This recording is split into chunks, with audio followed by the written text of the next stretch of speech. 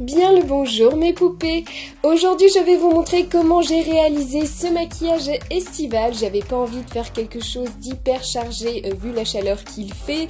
Au contraire je voulais plutôt de la fraîcheur et de la légèreté. Une fois avoir hydraté et fait mon teint, je viens travailler mes yeux en appliquant le rouge à lèvres macaron en teinte fleur d'oranger de NYX Professional Makeup en guise de base à paupières. Avec la palette Brights, toujours de chez NYX, je réalise un dégradé de couleurs bleu, orange et violine, tout en estompant à la fin les extrémités avec un pinceau propre.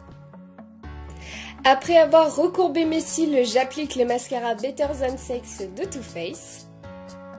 Je balaye mes sourcils en arrière avec le Ready Set Brow de Benefit.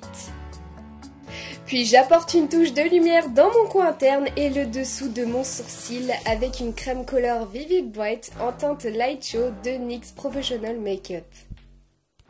Je viens ensuite réchauffer mon teint avec la palette contour 101 Face de Sephora, puis j'apporte de la lumière avec l'highlighter liquide Away We Glow en teinte Golden Hour et l'highlighter sec Star Powder de Makeup Forever. Après avoir cueilli deux petites fleurs, je viens les aplatir dans un livre pendant quelques heures, puis une fois qu'elles sont bien plates, je les fixe sur mon visage avec de la colle à fossiles, tout en faisant bien attention euh, d'avoir un bel équilibre au niveau des placements. Je finis par la mise en beauté des lèvres en appliquant un rouge à lèvres de la palette Artiste Rouge de Make Up Forever que j'applique également sur mes paupières. Finalement, le, le, orange ne me plaisait pas plus que ça et euh, je voulais faire un rappel de couleur entre la bouche et les paupières.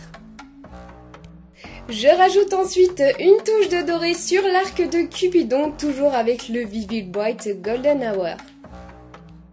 Et je termine avec une bonne couche de gloss sur les lèvres et les paupières que j'applique doucement en tapotant avec un pinceau souple pour ne pas risquer de déplacer les matières en dessous et donc de foutre en l'air tout mon travail que j'ai fait précédemment. Donc on y va mollo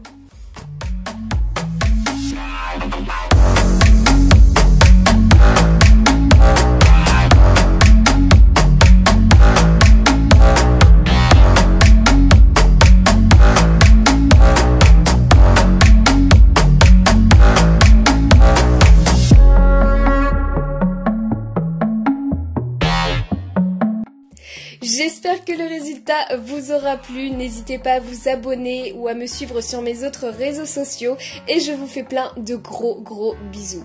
Mouah Bisous mes poupées